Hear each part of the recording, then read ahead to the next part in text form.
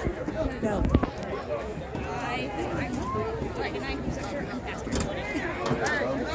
Because I can probably. But especially hurt.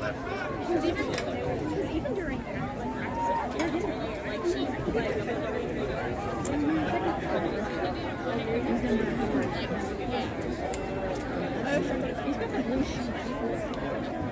And neither was Amy. Yeah, two ABCs. That game yesterday. I think I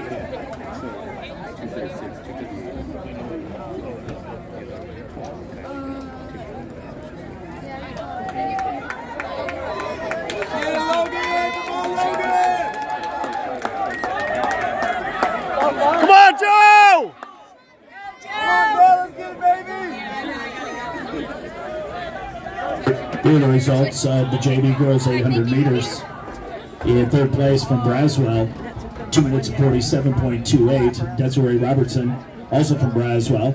Lily, Lilia Villarreal with a time of 246.36. And in first place from Braswell, Kylie Karen with a time of 242.94.